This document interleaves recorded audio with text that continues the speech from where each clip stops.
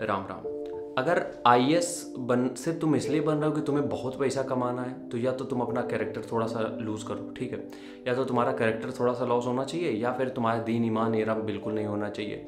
क्योंकि एक चीज़ ये समझो कि ये थोड़ी सी बातें हो जाएँगी उस तरीके की हवा हवाई लेकिन बात सच भी है, जिस दिन डिप्लोमेट करप्ट हो गए मंत्री तो हैं ये सब। जिस दिन डिप्लोमेट पी एस ये करप्ट हो गए, यकीन मानो देश उसी दिन ख़त्म हो जाएगा। सच बता रहे हैं, जिस दिन डिप्लोमेट करप्ट हो गए ना, उस दिन देश पूरा ख़त्म हो जाएगा। लेकिन खुशी की बात यह है 95 परसेंट जो डिप्लोमेट हैं यूपीएससी से जो बन के जाते हैं, वो सारे प्योर हैं। 95 परसेंट ये हमने मतलब भले अब उनकी न्यूज़ ना आई वो बात अलग है, लेकिन हमने जो देखा है, जितना भी, क्योंकि हम किसी वीडियो को बनाने के लिए कुछ भी हवा हवाई नहीं बोलते, हम पहले खुद रिसर्च करते हैं, ठीक है? तो 95 परसेंट का कैरेक्टर एकदम क्लीन है, और पाँच परसेंट है तो वो पकड़ जाते हैं, कैसे भी ना कैसे करके विजिलेंस टीम उनको पकड़ ही लेती है। तो अगर तुम इसलिए जा रहे हो कि तुम्हें करोड़पति बनना है, इसलिए तुम यूपीएससी में आई में जा रहे हो तो सबसे पहली बात ये समझ लो, तुम थोड़े से करप्ट हो जाओगे इसे तब तो तुम कमा सकते हो।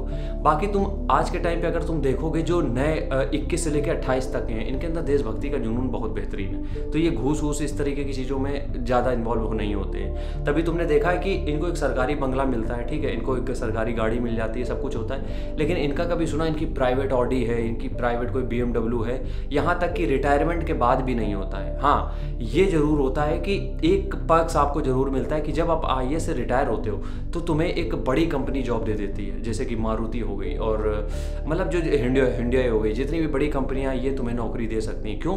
क्योंकि तुम जिस पद से आए वो इनके बहुत काम का हो जाएगा, ठीक है? तब तुम जाके करोड़पति ज़रूर बन सकते हो, तब है, चांस तब तो है, क्योंकि वो बड़ी पोस्ट तुम्हें देते तब वहाँ से बन सकते हो।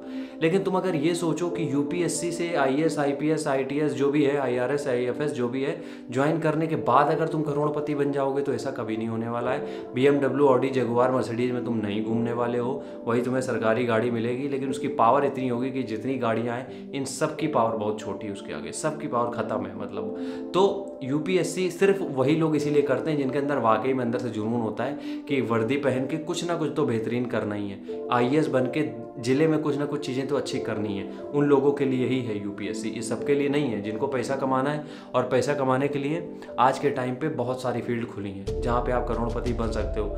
लेकिन सिर्फ़ पैसा कमाने के लिए यूपीएससी ज्वाइन मत करो, क्योंकि अगर तुम इस अप्रोच से जाओगे यूपीएससी में कि तुम्हें सिर्फ़ पैसा कमाना है तो तुम देश बर्बाद करोगे, वो जिला बर्बाद करोगे, जिस भी ज़िले में तुम जा रहे हो। क्योंकि देखो, जो ऑलरेडी सारी पॉलिसीज़ बना रहा है ज़िले की, जो सारी चीज़ें अरेंज कर रहा है, उसके लिए घूस लेना कोई बहुत बड़ी बात नहीं है। वो दो चार सौ करोड़ तो ऐसे कमा सकता है, कोई दिक्कत नहीं, कैसे भी कमा सकता है दो चार सौ करोड़, उसके लिए बहुत बड़ी बात नहीं है, क्योंकि जितनी भी मशीनरी हैं ज़िले की जो सारे काम संभाल लें चाहे वो इंडस्ट्री का हो, चाहे वो फ़ूड का हो, चाहे वो आपका फ़ार्मिंग का हो, चाहे लैंड का हो, चाहे इलेक्ट्रिसिटी का हो, जितनी भी फ़ील्ड है, वो सब उसके अंडर में आती है, उसके सब नीचे आती हैं। तो कहीं पर भी वो कुछ भी डिमांड कर सकता है, कहीं से कुछ भी मिल जाएगा। लेकिन लेकिन नहीं करते हैं लोग। और हमने तो देखा भी भैया 95 परसेंट लोग एकदम क्लीन है और वाकई में वो हैं भी, क्योंकि उनके पास रिटायरमेंट के बाद भी कुछ ज़्यादा होता नहीं है। वो सैलरी जो होती है, उसी का जो सेविंग होती है, बस वही होती है। इसलिए करोड़पति बनने के लिए यूपीएससी नहीं किया जा सकता है। राम राम, जय हिंद।